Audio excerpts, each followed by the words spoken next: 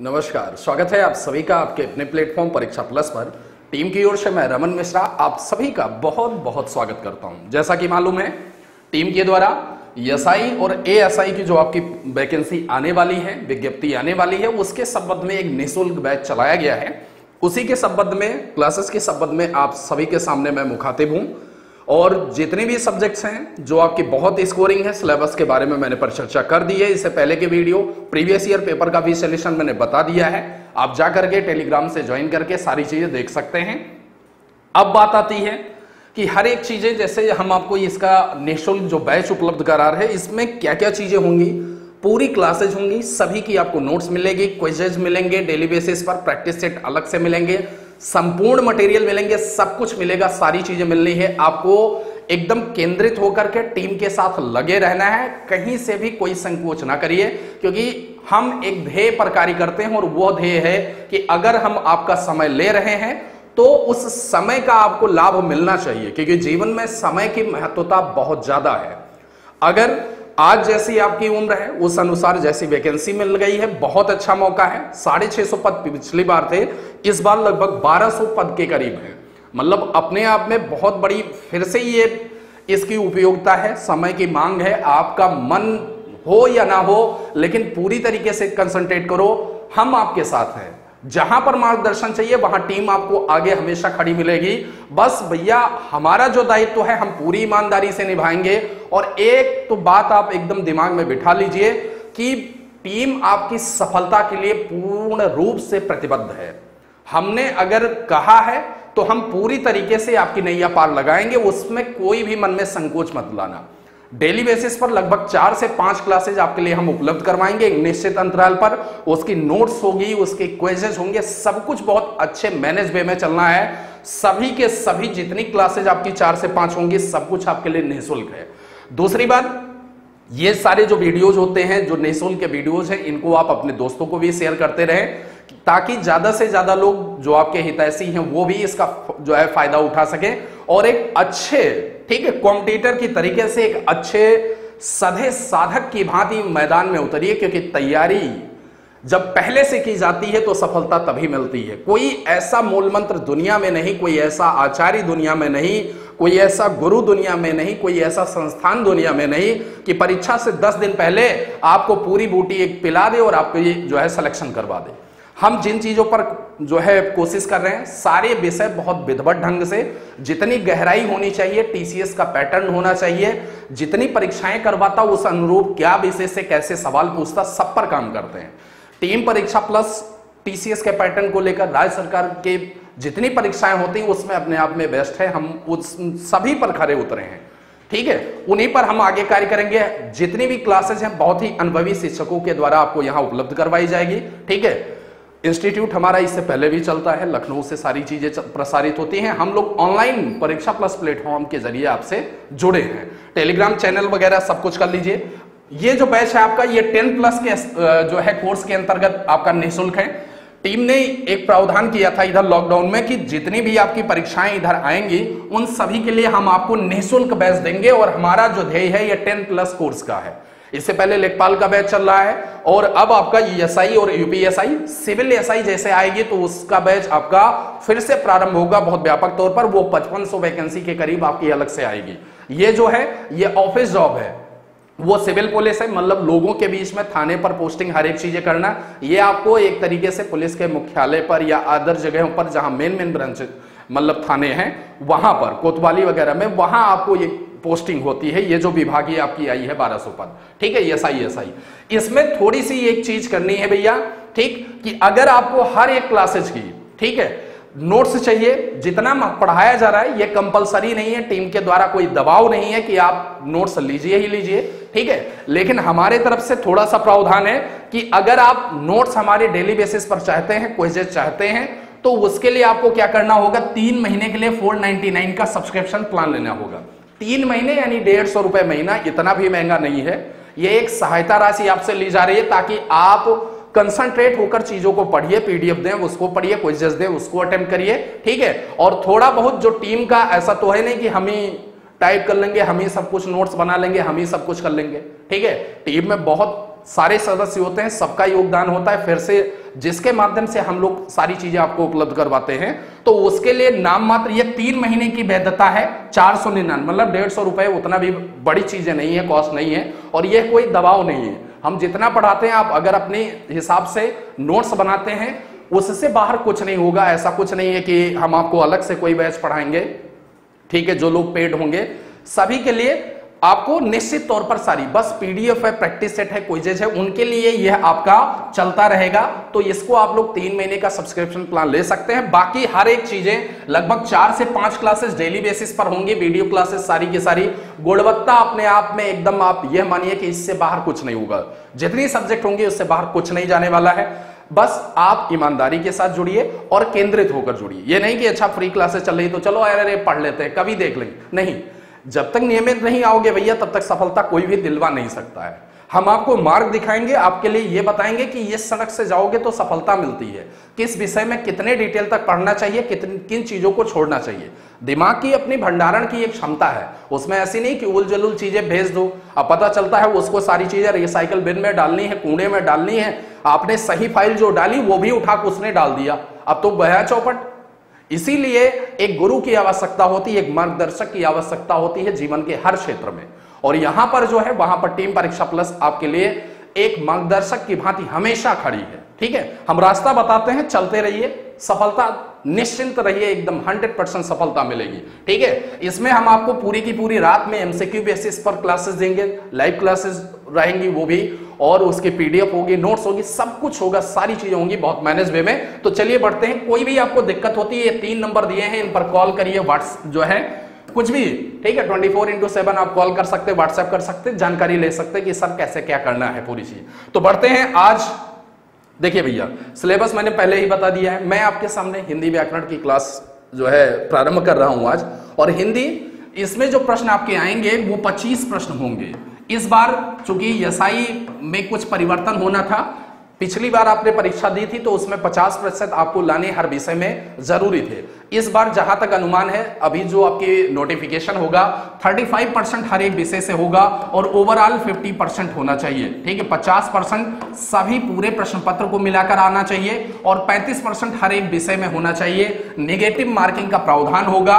तो अब हमें बहुत बचते हुए, क्योंकि अगर ऐसा होता है तो जो बच्चे पढ़ने वाले हैं उनके लिए यह परीक्षा बहुत आसान हो गई। जैसे निगेटिव मार्किंग होगी वन बाई फोर्थ का इसका प्रावधान चलता है अपना वन थर्ड या वन हाफ़ जो भी हो, वो चीज़ें नोटिफिकेशन आने पर होगी। टीसीएस परीक्षा करवाती है टीसीएस आपके यूपी ट्रिपल एस की परीक्षा करवाती।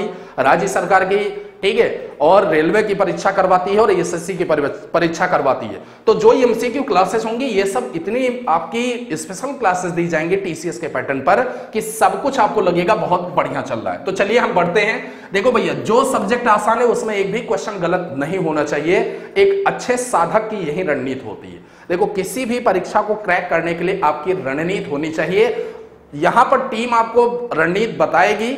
हर एक चीज़ हम सबसे बेस्ट सोल्यूशन आपको देंगे, लेकिन हर एक छात्र की, सभी की अपनी अलग रणनीति होती है। अगर आपको लगता है कि नहीं, मेरी रणनीति बहुत अच्छी है बेस्ट है फॉलो करिए, कोई दिक्कत नहीं है। ईमानदारी से रहिए। हम आपको बीच बीच में जो बताते हैं, उसको एड ऑन करते जाओ। ठीक है? क्योंकि कुछ ना कुछ चीज़ें जो अनुभव के बेस्ड पर हैं, वो चीज़ें हम आपको बताएँगे, उससे आपका लाभ होगा, यह निश्चिंत रही तो बढ़ते हैं। 25 क्वेश्चन हिंदी का आता है। प्रयास ये रहेगा, जितना पढ़ाऊँगा, इससे बाहर कोई क्वेश्चन नहीं जाएगा। अभी क्लासेस करवा रहा हूँ एमसीक्यू क्लास इसकी इसकी अलग से करवाऊँगा, उससे बाहर कुछ नहीं होगा। तो हिंदी में 25 प्रश्न है। 25 प्रश्न में आप सारे लोग जानते हैं कि इसका जो आपका सिलेबस है, पाठ्यक्रम है हिंदी का। हिंदी के पाठ्यक्रम में मैंने इससे पहले वाले वीडियो में परिचर्चा की है। जो आपका पुराना पाठ्यक्रम था, पाठ्यक्रम वही रहेगा, कोई बदलाव नहीं होगा, जो 18 में आपका पेपर हुआ है 16 की वैकेंसी थी, दिसंबर की, ठीक? पाठ्यक्रम में कोई बदलाव नहीं होगा। बस इसमें जो प्रावधान है नेगेटिव मार्किंग के और ओवरऑल परसेंटेज के, उसी में बदलाव होना है। उसी के लिए शासन को ये जो है, फिर से भेजा गया था रियाचन और शासन की मंजूरी मिली है, तब ये वैकेंसी आई है। ठीक है? तो पाठ्यक्रम जो हिंदी में है आपका मैं आपको क्या क्या पढ़ाऊँगा? सबसे पहले तो ये ध्यान दीजिए। हिंदी पढ़ाऊँगा, जो 25 आपके प्रश्न आएँगे 50 नंबर का। ठीक है? दूसरा जो मेरा होगा, आपको जीएस में मैं पॉलिटी, ठीक है? ये पूरा का पूरा कवर होगा। इसमें भी आपका जिस हिसाब से पचास क्वेश्चन है, उसमें इसका रूल जैसे होगा, पाँच से छह क्वेश्चन वो पूरा का पूरा रहेगा। ठीक है? मूल विधि इसमें आती नहीं, वो सिविल पुलिस में आएगी। तीसरी बात, जैसे मानसिक अभिरुचि वगैरह हो गई, पुलिस से संबंधित जितने मुद्दे हैं, ये सारी चीज़ें मैं आपसे डील करूँगा। एमसी की क्लासेज जितनी है, वो मैं आपसे डील करूँगा। करंट की क्लासेज होंगी वीकली बेसिस पर स्पेशल एसआई के लिए, इस परीक्षा के लिए, क्योंकि आपने देखा है कि कंप्यूटर से रिलेटेड मतलब आईटी सेक्टर से ज़्यादा आपका पूछता है तो उन सब की क्लासेज अलग से होंगी, वो रहेगी। तो पूरी की पूरी चीज़ें एकदम बहुत अच्छे से लगे रही है सब कुछ बहुत मैनेज वे में यहाँ चलना है, ठीक है? हमने अगर कहा है तो आपकी नैया एकदम पूरी तरीके से पार लगाएँगे तो आपको कहीं से भी परेशान नहीं होना है। एकदम निश्चिंत होकर टीम के साथ जुड़िए कि यहाँ पर सिलेक्शन हमारा हो ही जाना है। तो हम किस बात पर चर्चा कर रहे थे? हम सिलेबस पर परिचर्चा कर रहे थे। देखो, सबसे बड़ी बात बताऊँ मैं आपको। अगर आप कंपटीटर हैं तो एक बात को ध्यान दे लो, अगर सफल होना चाहते हो। इस चीज़ को कभी रियलाइज़ करना जो मैं आपके सामने बोल रहा हूँ। एक तो ये चीज़ें कि कभी भी अगर आप सफल होना चाह रहे तो सफलता तभी मिलेगी जब आपकी तैयारी पहले से हो। मैदान में उतरना है भैया तो मैदान में आप पहुँच के फिर अपनी तलवार घिसोगे। वहाँ तो पता चला कि शत्रु आया और गर्दन कट गई, ठीक? शरीर वहीं बेजान पड़ा है और हम जब ऊपर पहुँचे तो सोच रहे ऐसा नहीं ऐसा करना चाहिए। परीक्षा में जब हमारी हार हो जाती, हम सफल, परीक्षा में दो ही होता है। युद्ध में दो ही होता, या तो जय या तो पराजय। ये युद्ध की बात इसको जो है, आप एक्सेप्ट करिए। बस यहाँ हमें वैसी रंजिश नहीं रखनी है किसी से भी। ठीक है? हमारी रंजिश वैसी नहीं होनी चाहिए, लेकिन जो दमखम होना चाहिए, वो बहुत ही प्रबल होना चाहिए। ठीक है? एक रणनीति जो होनी चाहिए, आपको पता होना चाहिए कि कौन सा भाग है। ठीक? वो इलाका मैदानी है या उबड़ खाबड़ है? मतलब मैथ का सेक्शन है या फिर समतल चले जाना है, कहीं चढ़ाव उतार है, हिंदी का सेक्शन है तो किसमें कौन सी रणनीति आपकी सबसे बेस्ट होती है? यही होती है एक सफल छात्र की निशानी और उसके लिए हम आपको जो चीज़ें बताते हैं उस पर काम करो। पहली चीज़ है, अगर परीक्षा सफल करना चाहते हो तो परीक्षा के पाठ्यक्रम को जानना सीखो। ये नहीं हिंदी आनी है तो हिंदी उठाए, किसी किताब से बस शुरू से अंत तक पढ़ डाले। ये नहीं देखे कि पुराने प्रश्न पत्र में किस भाग से कितना पूछा था। कौन से चैप्टर से कितना पूछा, उसके लिए हम बैठे हैं। ठीक है? जो कुछ आपको नहीं समझ में आता, ठीक है, वो सब कुछ पूछिए। टेलीग्राम चैनल है फेसबुक का ग्रुप है व्हाट्सएप में आपको जोड़ा जाएगा। कॉल के लिए नंबर है, किसी पर भी कोई समस्या है, हमेशा पूछिए, हम आपके साथ हैं। देखिए, हिंदी का जो आपका पाठ्यक्रम है, इससे पहले भी मैंने बताया, बस थोड़ी सी पर चर्चा होगी, उसके बाद मैं आगे बढ़ूँगा। हिंदी में देखिए, आपके हिंदी में हिंदी व्याकरण आपसे पूछता है, जिसमें आपका वर्ण होता है, ठीक है? वर्ण के बाद वर्णमाला होती है वर्णमाला में वर्णों का उच्चारण होता है, ठीक है? वर्णों का उच्चारण है, ये सब आपके सिलेबस में है, जो चीज़ें मैं पढ़ाऊँगा, और जितना पढ़ाऊँगा, इससे बाहर हिंदी नहीं हो सकती है, चैलेंज है, ठीक है? अगली चीज़ क्या है? उच्चारण के बाद वर्णों की संधि होगी, ठीक है? वर्णों की संधि होगी और संधि से जब आपके शब्द मिलने लगेंगे, बहुत अच्छे से ये सारी चीज़ें पढ़नी है। उसके बाद वर्तनी से सवाल आपसे पूछा जाता है, ठीक? तो शब्द मिलेंगे तो वर्तनी होगी। ये आपके वर्णमाला से हो गया। दूसरा पॉइंट होता है शब्द से। शब्द में भी आपके शब्द के चार जो विभेद होते हैं, उत्पत्ति के आधार पर, प्रयोग के आधार पर, रचना के आधार पर, इन सभी के जो अपने चार चार विभेद होते हैं, ठीक है? प्रयोग के आधार पर विकारी अविकारी होते हैं। मतलब यहाँ से आपका लगभग 25 में लगभग आठ प्रश्न आप मान के चलिए, आते हैं, आठ से आपके 10 प्रश्न यहीं से होते हैं। ठीक, इसको बहुत अच्छे से हम लोग करेंगे। ठीक, पूरी की पूरी चीज़ें बहुत विधवत पढ़ाऊँगा मैं, जितनी डिटेल पढ़ाऊँगा, उस क्लास को अटेंड करिए। उसके बाद जब आप नोट्स मेरी पढ़ोगे तो आपको लगेगा कि मैं फिर से लेक्चर को देख रहा हूँ। ठीक है, मैं उतनी सहज भाषा में आपको नोट्स उपलब्ध करवा रहा हूँ, जिससे कि आप बहुत आसानी से मेरी बातों को समझ सकते हैं। उस व्याकरण की जो विधा है, उसको आप बहुत आसानी से समझ सकते हैं। तो शब्द भी ये होगा, ये सबसे बड़ा चैप्टर है, बहुत डिटेल में आपको बहुत अच्छे से पढ़ाऊँगा। ठीक है? तीसरी बात, जब हम आएँगे तो शब्द के बाद आपका वाक्य बनता है। वाक्य में आपका जो है अर्थ के आधार पर और रचना के आधार पर, वाक्य में शुद्धि, अशुद्धि शुद्धि, अशुद्धि में खासकर विभक्ति के आधार पर, लिंग के आधार पर। ठीक है? विकारी शब्दों के आधार पर, अविकारी शब्दों के आधार पर, कारक के आधार पर, इन सारे को बहुत ढंग से यहाँ पढ़ाऊँगा आपको। उसके बाद फिर हम पढ़ेंगे किधर? इसके बाद हम बढ़ जाएँगे आपके छंद की ओर, फिर हम पढ़ेंगे रस की ओर। ठीक है? रस के बाद आपके सिलेबस में अलंकार है, अलंकार के बाद आपके सिलेबस में है पठित गद्यांश है। तो इन सभी को बहुत ढंग से पढ़ना है, ठीक है? बहुत अच्छे से करना है और पूरी चीज़ें सब कुछ मुझ पर छोड़ दीजिए। बस सिलेबस में ध्यान रखिए कि इतनी चीज़ें हमसे पूछती है। और एक चीज़ सबसे लास्ट में इससे बचता है कि हम जिस भाषा को पढ़ रहे इस भाषा का इतिहास क्या है, इस भाषा में जो साहित्य है हैं, उनका इतिहास क्या है? तो इन दोनों से भी सवाल होते हैं, रचनाओं से लगभग आपके तीन से चार प्रश्न मैं कह सकता हूँ कि जो पिछला पेपर रहा उसमें आया था, मैंने करवाया है सोल्यूशन वहाँ देख सकते हो आप जाके। तो चलिए, अब हम बढ़ते हैं। ये तो आपका पाठ्यक्रम रहा, पाठ्यक्रम को दिमाग में भर लेना कि क्या चीज़ें पढ़नी होती है वैसा नहीं कि आप चूँकि ट्रिपल ये जो टीसीएस है टीसीएस अलग अलग जो परीक्षाएँ करा रहा, उसमें सिलेबस अलग अलग है। अब यही चीज़ जब आप लेखपाल में जाओगे, लेखपाल मैंने पूरी पढ़ाई है, लगभग तीस क्लासेस पूरी पढ़ी हुई है टेन प्लस कोर्स के अंतर्गत लेखपाल का जो कोर्स है, उसमें उस तीस क्लासेस में मैंने पूरी डिटेल में यूपी ट्रिपल एस में, अब उसमें क्या करता है ट्रिपल एस में आपका, यूपी ट्रिपल एस में जो लेखपाल के पैटर्न पर होगा, उसमें थोड़ी सी चीज़ें आपकी बदल देता है। ठीक है?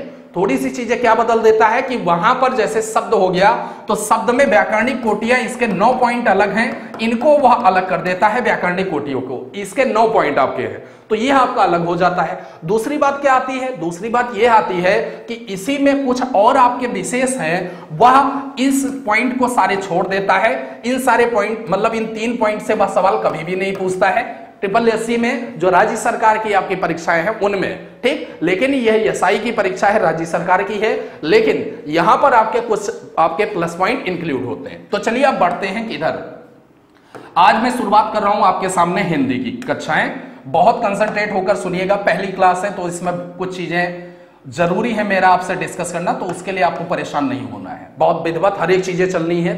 चीज़ों को ध्यान से देखिए, क्योंकि यहीं से आपका मार्ग मैं तय करूँगा, उस मार्ग के अनुसार आपको चलना होगा। और वो चीज़ें आपके लिए ज़रूरी है भैया, क्योंकि आप सभी जानते हो कि आप ऐसे नहीं है कि एकदम अचानक से तैयारी करने आए हो। जिन चीज़ों को मैं यहाँ पर बता रहा हूँ, उन चीज़ों के आपके कर्ण पल्लों में उससे पहले उन ध्वनियों को आपने कहीं ना कहीं सुना है।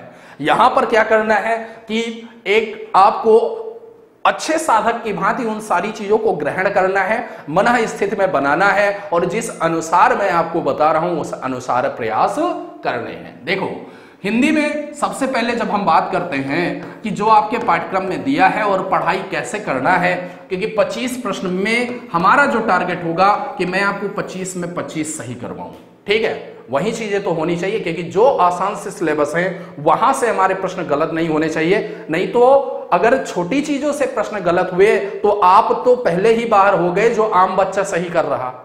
कंपटीशन में कठिन प्रश्न गलत होते कोई दिक्कत नहीं, लेकिन आसान प्रश्न अगर गलत होते तो वहाँ समझ जाना कि कहीं ना कहीं हम अपने पैर पर कुल्हाड़ी मार रहे तो उस कुल्हाड़ी की नौबत ना आए, उसके लिए मैं जो बताता हूँ, उन चीज़ों को सुनिए। हिंदी में आपका जो मुख्य रूप से है यह व्याकरण से संबंधित जो आपके सवाल है। इसमें व्याकरण में सबसे पहले इसकी जो परिभाषा दी जाती है, वह एक तरीके से देखा जाए कि व्याकरण के जो रचयिता होते हैं, व्याकरण को जो लिखने वाले हैं, वो क्या हैं? उनको वैयाकरण बोलते हैं। व्याकरण की जो रचना होती है, इसको वैयाकरण बोलते हैं। ठीक है? विक्रानेंत सह व्याकरण ऐसी भी परिभाषा, यानी जो किसी क्रियाकलाप से, ठीक है, क्या करे? व्याकरण की उत्पत्ति होती है वहीं से।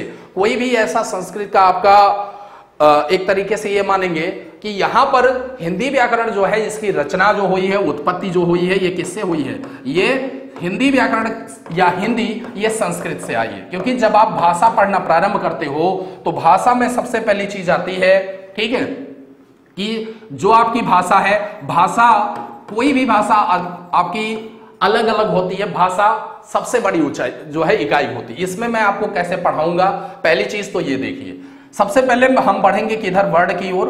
वर्ण को सीख जाएँगे तो अक्षर की ओर बढ़ेंगे। अक्षर और वर्ण में अंतर है।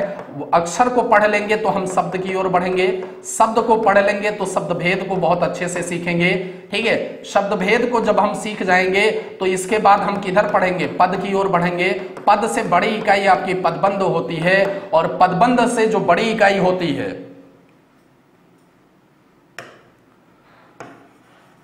पदबंध से आपकी जो बड़ी इकाई होगी, वह किसकी होगी? यह उपवाक्य की होगी और उपवाक्य से बड़ी इकाई वाक्य की होती है। वाक्य से बड़ी इकाई आपकी भाषा होती। है तो यह भाषा का आपका क्रम चलता है।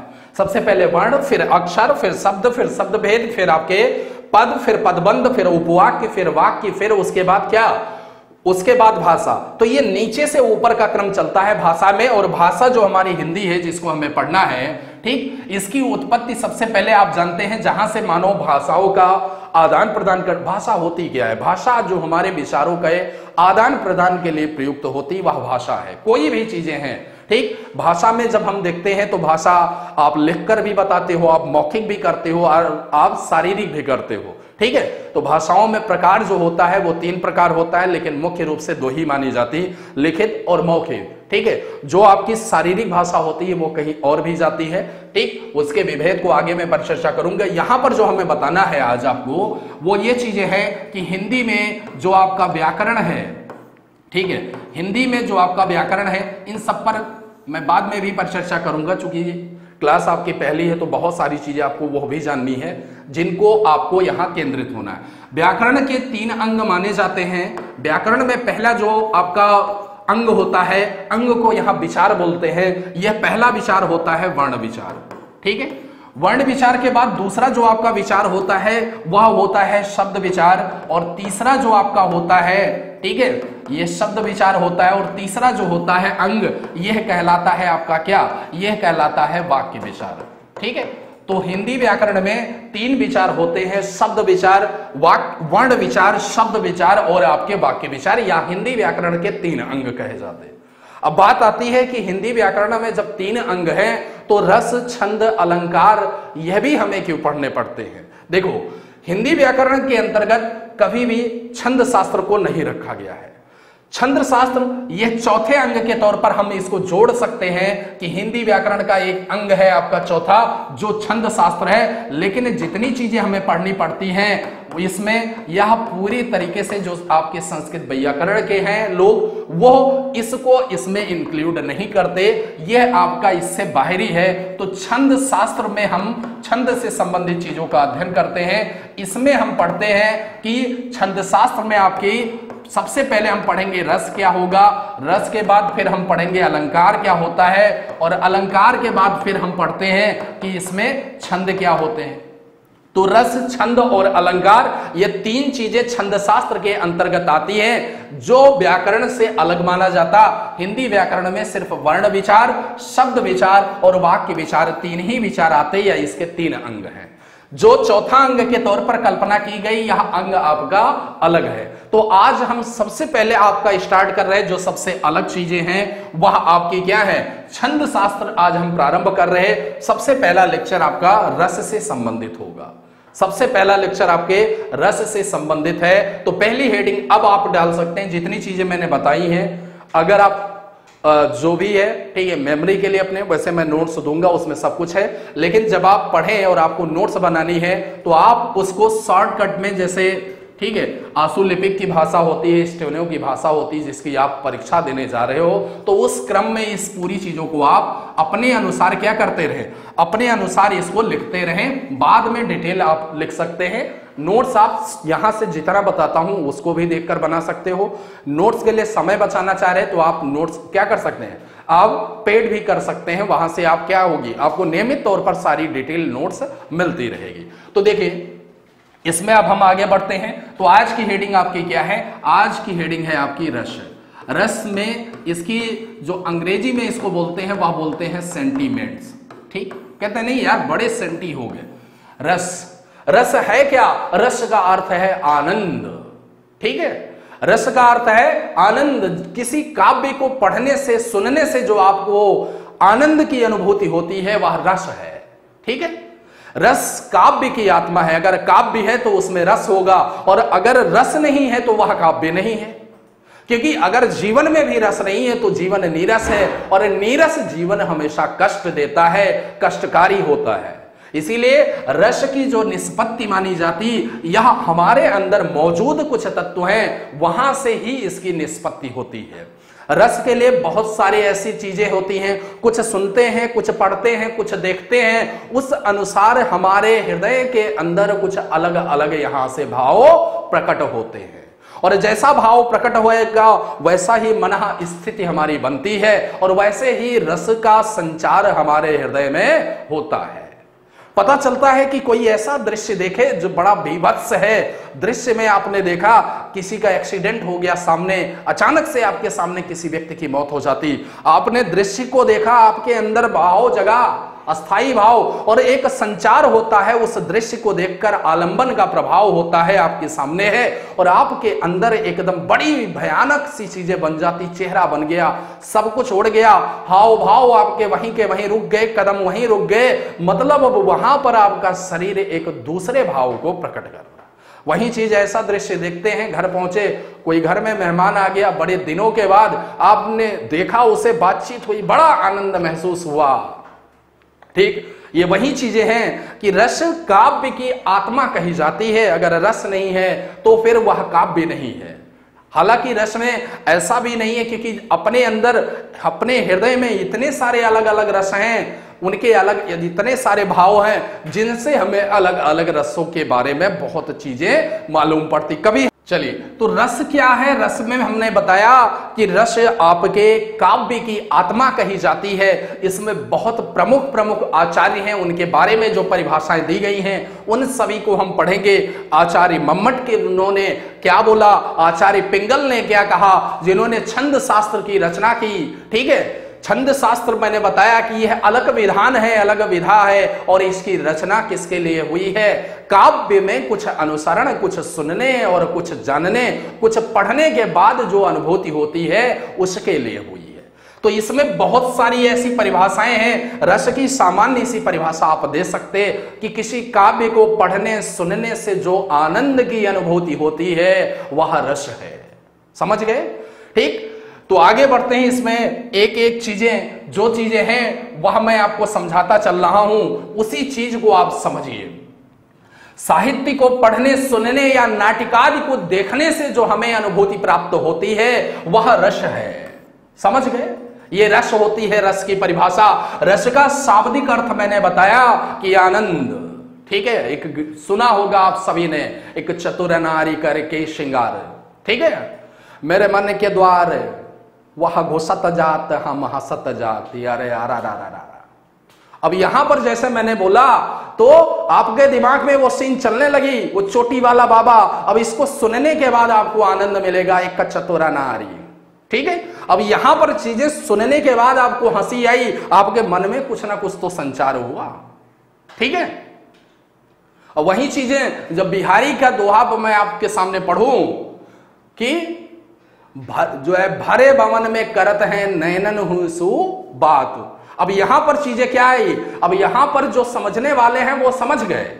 ठीक? मतलब कहीं पर प्रेमी और प्रेमिका हैं, सारे लोग मौजूद हैं, और फिर भी क्या हो रहा है? उनकी आपस में बात नैनो के माध्यम से हो रही है। तो यह चीज़ें यहाँ पर जो रस, जगह, वह रस और है, और जो इससे पहले मैंने कविता बोली, वह रस कुछ और है। ठीक है? तो ये रसों की निष्पत्ति किस अनुसार होती है? किसी बात को सुने, किसी बात को पढ़े या किसी बात को लिखते हैं, फिर भी हँसी आती है। ठीक है? मैसेज टाइप कर रहे हो, बतिया रहे हो, तब भी हँसते रहते हो। वो भी तो रस है, बात नहीं कर रहे हो, फ़ोन पर मैसेज कर रहे हो, लिख रहे हो, तब भी तो रस आया। यही चीज़ें क्या है? और अगर भोजन रस के बिना, यदि नीरस है, औसत रस के बिना, निष्प्राण है तो साहित्य भी रस के बिना निरानंद है। और जब तक आनंद ना हो, सानंद के साथ कोई ना पढ़े, तब तक बढ़िया तालमेल नहीं लगता है। इस बात को ध्यान रखिएगा।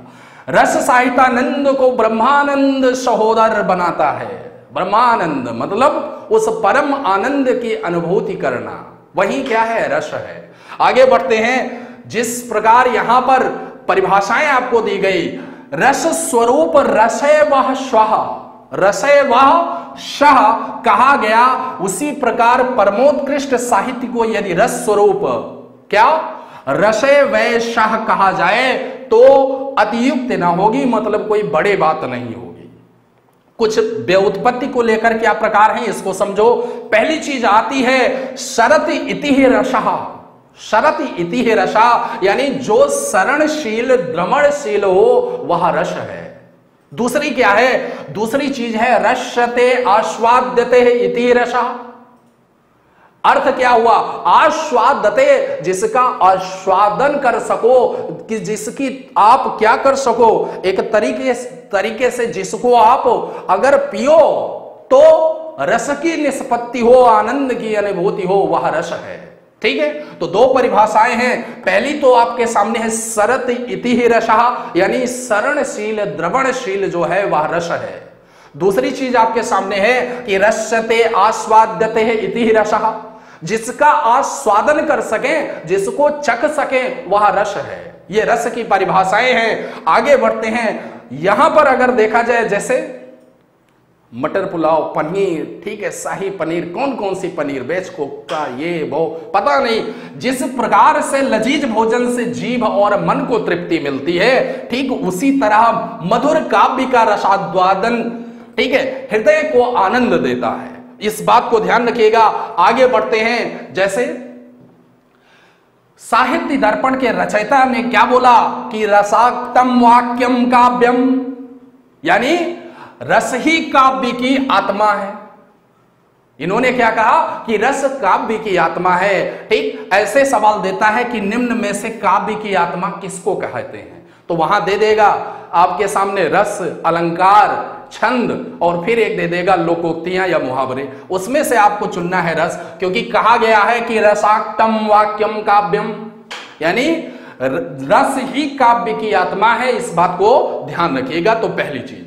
अब बात करते हैं काव्य प्रकाश के रचयिता मम्मट भट्ट। यह भी सवाल पूछता है ठीक है? काव्य शास्त्र के रचयिता कौन है? मम्मट भट्ट हैं। इन्होंने कहा कि आलंबन विभावों से उद्बुद्ध, उद्दीप्त व्यभिचारी भावों से परिपुष्ट तथा अनुभव द्वारा व्यक्त हृदय का अस्थाई भाव ही रस दशा को प्राप्त करता। यानी रस के संपन्न होने में कई क्रियाएँ चलती हैं। उन क्रियाओं में क्या होना चाहिए? आलंबन होना चाहिए, विभाव होना चाहिए, उद्दीप्त होना चाहिए व्यभिचारी भाव होना चाहिए। संचारी भाव होना चाहिए, तब रस की निष्पत्ति होती है।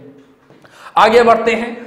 रस को काव्य की आत्मा या प्राण तत्व कहा जाता है, इस बात को ध्यान रखिएगा। जैसे राम पुष्प वाटिका में घूम रहे, एक ओर से जानकी जी आती हैं, एकांत है, प्रातःकालीन वायु, पुष्पों की छटा, मन में मोह पैदा करती।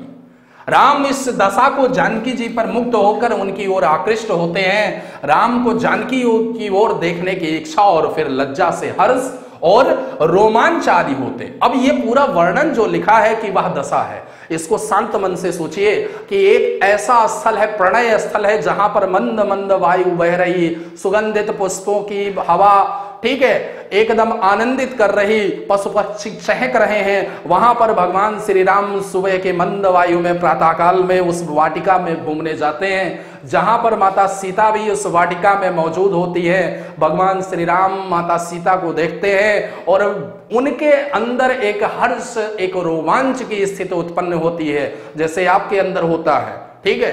कि कोशिश करते रहते हैं कि हाँ कहीं से भी एक बार देख ले। ठीक है? वो चीज़ें हैं तो वो सब कुछ जो ये छटा है, यह जब आप पढ़ोगे तो आपको क्या होगा? आपके अंदर भी एक रस का संचार होता है। आपके हाव भाव बदल जाते हैं। तो वही चीज़ें पर है। यहाँ पर ध्यान दीजिएगा, जानकी जी जिनको देखकर भगवान श्री राम के अंदर मन में ऐसी बात उठी, वह आलंबन विभाव है। जो स्थान था, एकांत था, तथा प्रातःकालीन वाटिका का दृश्य था, यह उद्दीपन विभाव है। हमारे अंदर उद्दीप लाए।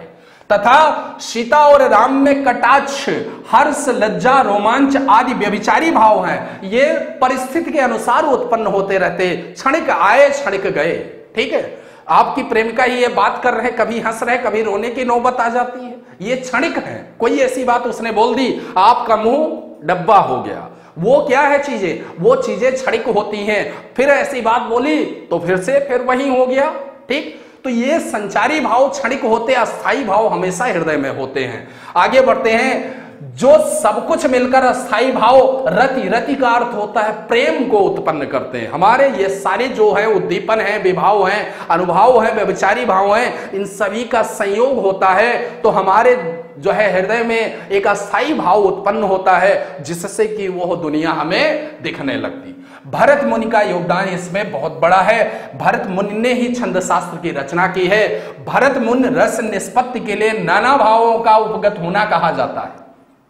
इन्होंने कहा कि अगर रस की निष्पत्ति है तो उसमें नाना भाव आते, नाना प्रकार के भाव आते। कैसे? जिसका अर्थ होता है कि विभाव, अनुभाव और संचारी भाव। यहाँ अस्थाई भाव के समीप आकर अनुकूलता ग्रहण करते हैं। अब अलग अलग आचार्य हैं, उन्होंने रस की परिभाषा को अलग अलग ढंग से दी है। ठीक है? इसमें जैसे सबसे प्रचलित परिभाषा भरत मुनि की है, जिन्होंने सर्वप्रथम रस का उल्लेख किया और अपने प्रसिद्ध ग्रंथ नाट्य शास्त्र यह पूछता है कि नाट्य शास्त्र की रचना किसने की? भरत मुनि ने की। तो दूसरा क्वेश्चन यहाँ से बनता है। जो कुछ पढ़ाऊँगा, जहाँ से प्रश्न बनेंगे, उन चीज़ों पर मैं आपको इंगित करूँगा। अगली चीज़, ईसा की पहली शताब्दी में यह ग्रंथ आपका आया था, नाट्यशास्त्र, ठीक है? इनके अनुसार रस की जो परिभाषा है, वो क्या है? विभावा, अनुभावा, व्यभिचारी, संयोगाद्रिय, निष्पत्ति। मतलब विभाव, अनुभाव, संचारी भाव और व्यविचारी भाव के मिलन से, संयोग से रस की निष्पत्ति होती है, जो इन्होंने अपनी परिभाषा नाट्य शास्त्र में दी है। रस के अब बात होते हैं कि अंग क्या है। इसके चार अंग माने जाते हैं, भैया। जो कुछ आप पढ़ रहे हो, ऊपर यही इनके चार अंग हैं। चार अंग में से कोई नहीं है तो वहाँ रस आपका नहीं होगा। देखिए कौन कौन से हैं? पहला अंग जो है, वह विभाव होता, दूसरा अनुभाव, तीसरा बेविचारी भाव, चौथा अस्थाई भाव। पहले विभाव होगा, फिर अनुभाव होगा, फिर व्यवचारी भाव होगा, उसके बाद आपके अंदर एक अस्थाई भाव जगेगा। विभाव क्या होते हैं? जो व्यक्ति पदार्थ अथवा जो है बाह्य विकार या अन्य व्यक्ति के हृदय में भावोद्रक करता है, भाव को उत्पन्न करता है। वो उन कारणों को विभाव कहा जाता है, इस बात को ध्यान रखिएगा। यानी दूसरे शब्द में यह तो परिभाषा आपके बहुत ही कठिन हो गई, जो व्यक्ति वस्तु या परिस्थितियाँ, अस्थायी भावों को उद्दीपन या जागृत करती है। हमने किसी चीज़ को देखा, सामने से क्या है? कोई आ रहा है। तो हमने देखा, भले ही वो हमें नहीं देख रहा, लेकिन लड़कों में आदत होती है कि कहीं से भी मौका मिल जाए। ठीक है? तो देखते रहते हैं। अब वो चीज़ें क्या होती हैं? यहाँ परिस्थिति क्या है? सामने से कोई सुंदर बाला आ रही है तो दिमाग आपका उसी पर लग जाएगा। ठीक है? ये उद्दीपन है हमारे मन में कुछ ना कुछ तो जगह वो चीज़ें क्या है? सामने से मैंने बताया किसी का आपके आँखों के सामने एक्सीडेंट हो गया। मन एकदम द्रवित हो जाएगा, बड़ा ही जो है, वो लगेगा। रात की अवस्था है साए साए हवा निकल रही है, कहीं अचानक से कोई निकल पड़ा।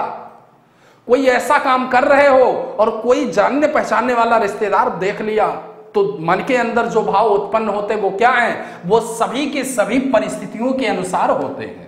ठीक है? यानी यह उद्दीप्त करती हैं हमारी चीज़ों को और यह विभाव की ओर हम बढ़ रहे विश्वनाथ ने साहित्य दर्पण में लिखा तो साहित्य दर्पण किसकी रचना है? विश्वनाथ की है। तीसरा प्रश्न, कि रत्योदत का लोके विभाव काव्य नाट्य यानी जो समाज में रत आदि भावों का उद्बोध करते, वो विभाव है। विभाव विभाव, किसी से जिससे विभाव, भाव का उत्पन्न होना होता, वो विभाव है। अगली चीज़, विभाव के भी भेद होते। ऐसा नहीं है कि किसी चीज़ को, उद्दीपन को आप देख ले तो उद्दीपन में जिससे कि हमारे अंदर कोई चीज़ उत्पन्न हो तो उसमें ऐसा ही हो। इसके दो भेद होते। एक आलंबन होता है और दूसरा उद्दीपन होता है। ठीक? एक, जिसको देखकर आपको कोई चीज़ें क्या हो, प्रभाव पड़े और हमारे अंदर वैसा विकार हो, उत्पन्न हो, रस उत्पन्न हो, ठीक? देखो, आलंबन विभाव की परिभाषा होती जिसका आलंबन या सहारा पाकर अस्थाई भाव जागते हैं। ठीक है? जिसका सहारा पाकर अस्थाई भाव जगते, वह आलंबन कहलाता है, आलंबन विभाव कहलाता। यानी जिन वस्तुओं या विषयों पर आलंबित होकर भाव उत्पन्न होते, उन्हें आलंबन विभाव कहते। उदाहरण समझ लो, क्योंकि उदाहरण ही मेन है, जैसे नायक नायिका। ठीक है? नायक नायिका, अब इसमें आपने जैसे ही इन चीज़ों को, इन विषयों को, इन वस्तुओं को देखोगे, सुनोगे तो वहाँ पर चीज़ें क्या होंगी? यह आलंबन विभाव। होगा आगे बढ़ते हैं। आलंबन विभाव में दो पक्ष होते हैं, एक आश्रयालंबन, दूसरा होता है विषयालंबन। आश्रय मतलब निर्भर करना और विषय, किसी चीज़ में क्या होती है? गुणता होती है। जिस, जिसके मन में भाव जगे, वह आश्रयालंबन कहलाता है। और दूसरी चीज़ें, जिसके प्रति या जिसके कारण मन में भाव जगे, वो क्या है? विषयालंबन कहलाता है। तो आश्रय लंबन क्या है? कि जिसके मन में भाव जगा, किसी चीज़ को मैंने देखा, मेरे मन में भाव आया तो मैं वहाँ पर आश्रय लंबन की अवस्था में रहूँगा। और जिस चीज़ को देखकर मेरे मन में ऐसा भाव जगा, वो किसमें रहेगा? वो चीज़ विषयालंबन रहेगा। विषय तो वह है। समझ गए ना? आगे बढ़ते हैं, जैसे उदाहरण कि राम के मन में सीता के प्रति रतिका भाव जगता तो राम आश्रय और सीता विषय होंगे। ठीक है? आगे बढ़ते हैं इसके बाद। उद्दीपन विभाव क्या होता? जिन वस्तुओं या परिस्थितियों को देखकर अस्थाई भाव उद्दीप्त होने लगते, वह उद्दीपन विभाव कहलाता ठीक है? उद्दीपन विभाव जिन वस्तुओं या परिस्थितियों को देखकर ऐसा हुआ, वह उद्दीपन है, उद्दीप्त होना है। आगे बढ़ते हैं इसके बाद आपका अनुभव क्या होता है, इसको समझ ले। अनुभव में आलंबन और उद्दीपन विभावों के कारण जो उत्पन्न विभाव भाव होंगे, उनको बाहर प्रकाशित करने वाला कार्य अनुभव कहलाता है। ठीक है? अब किसी चीज़ को आपने देखा, हँसी आई, मन में तो पहली आई, उसके बाद आप हंसने लगे ठट्ठा मार के तो वो बाहर तो आया। जब बाहर आया तो वह अनुभव हो गया। समझ गए? यानी जो मनोगत भाव को व्यक्त करने वाले शरीर विकार अनुभव कहलाते। एक तो परिभाषा हम इसकी यह भी दे सकते हैं कि जो मनोगत भाव होते हैं, यानी मन के अंदर जो भाव होते हैं, इनको जो व्यक्त करते वह शारीरिक विकार आपके क्या कहलाते? अनुभव कहलाते हैं। ठीक है? तो अनुभव की परिभाषा बहुत सिंपल सी हो गई, साधारण सी कि जो भावों का अनुगमन करते यानी जिनसे भाव आते और जाते वह मनोभाव है। आगे बढ़ते हैं। इसके अलावा अनुभव की परिभाषा अगर देखी जाए तो इसको बोला जाता अनुभव यंती अनुभव। यानी भाव का आना जाना ही अनुभव है।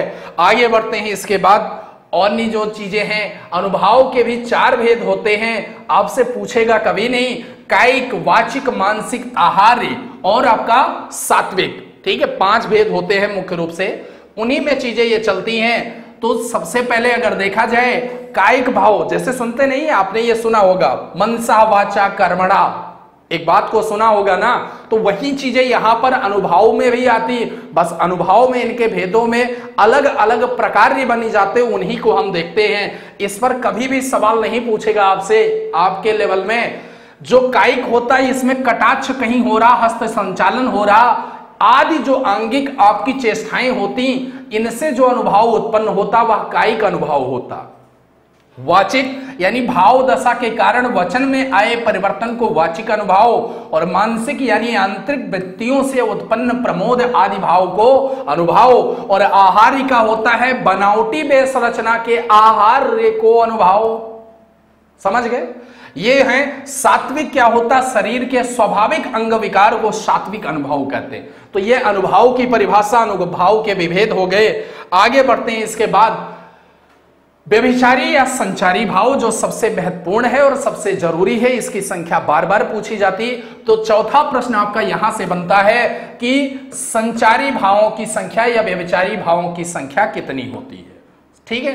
चौथा जो आपका प्रश्न बनता है, वह प्रश्न यहाँ से बनता है कि संचारी भाव, वो संचारी भाव या व्यविचारी भाव की आपकी संख्या कितनी मानी जाती है? तो छंदशास्त्र में इनकी जो संख्या है, वह तैतीस मानी गई है। कितनी? तैतीस। तैतीस तरीके के भावों का संचार हमारे अंदर होता है। सोचिए कितनी बड़ी बात है। ठीक है? मन में संचरण करने वाले, यानी आने जाने वाले भावों को संचारी या व्यभिचारी ठीक है? भाव कहते हैं, ये जो शब्द व्यभिचार है मतलब इसका जो उत्पन्न होना है, वो क्षणिक होता है। कभी इसके साथ, कभी उसके साथ, कभी ऐसे, कभी वैसे। उसी चीज़ के लिए इसको व्यभिचारी बोला जाता है, ठीक है? यानी संचार इसका मुख्य आपका प्रालंबन होगा, यानी संचारी भाव वह होगा जो हमारे मना स्थिति में समय समय पर क्या होता है? प्रस्फुटित होता रहता है और हमें उसी अनुरूप क्या मिलते हैं? भाव मिलते हैं। देखिए, संचारी या व्यभिचारी भाव अस्थाई भावों के सहायक हैं, जो अनुकूल परिस्थितियों में घटते बढ़ते रहते हैं। आचार्य भरत ने इन भावों के वर्गीकरण के चार सिद्धांत माने। देश, काल और अवस्था के हिसाब से उत्तम मध्यम और अध्यम प्रकृति के, ठीक है? ये आपके संचारी भाव है। तीसरी, आश्रय की अपनी प्रकृति या अन्य व्यक्तियों की उत्तेजना के कारण है। और चौथा जो है, स्त्री और पुरुष के अपने स्वभाव के भेद के कारण। ठीक? ये चार ऐसी चीज़ हैं जिन पर संचारी भाव या व्यविचारी भाव निर्भर करते हैं। इन सारी चीज़ों के आधार पर संचारी भावों की संख्या अलग अलग है। जैसे निर्वेद हो गया, शंका हो गया और आलस्य ये स्त्रियों या नीच पुरुषों के संचारी भाव हैं। निर्वेद, शंका और आलस्य ये कैसे स्त्रियों के अंदर बताए जाते हैं या पुरुषों के? जो नीच पुरुष हैं, उनके अंदर ऐसे भेद होंगे। अब ये सारी चीज़ें आजकल नहीं है। ये जबकि रचना थी, तब में और आज के समाज में बहुत अंतर है। गर्म, आत्मगत संचारी है। ठीक है? अमरस, परगत संचारी है। आवेग या कालानुसार संचारी है।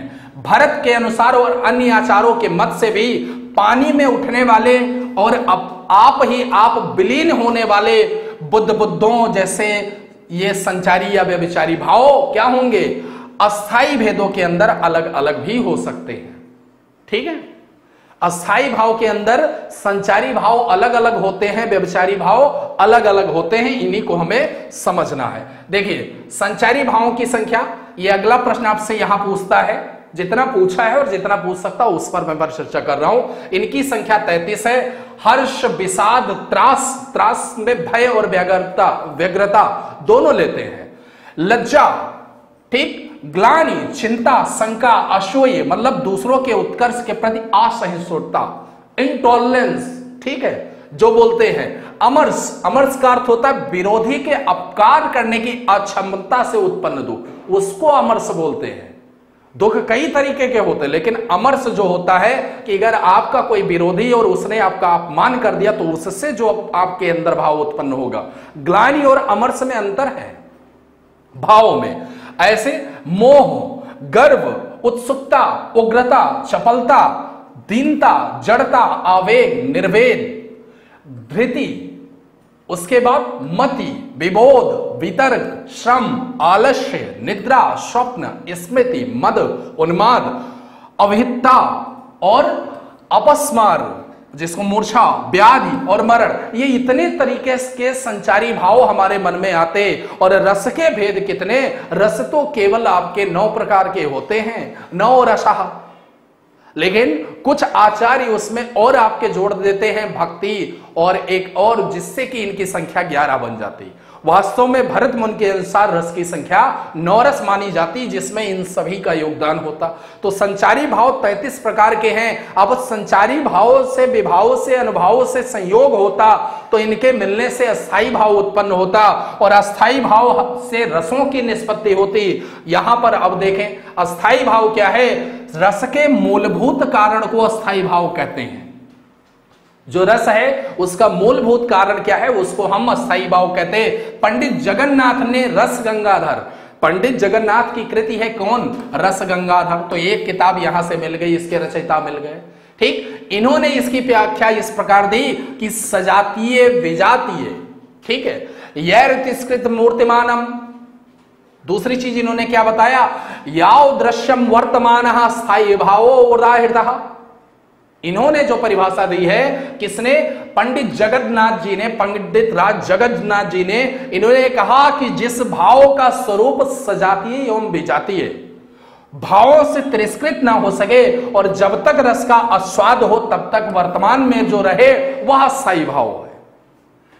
मतलब सब कुछ हमने देखी, सारी परिस्थितियाँ देखी, और मन में हमारे एक अस्थाई रूप से जब कुछ जग गया तो वह चीज़ें जो बना रहे वर्तमान तक संचारी भाव तो ऐसे आया, ऐसे गया, क्षणिक बातें हैं। लेकिन अस्थाई भाव जब आपके अंदर जग जाएँगे, ठीक है तो वो कुछ देर तक आपके अंदर जो है विद्यमान रहते हैं।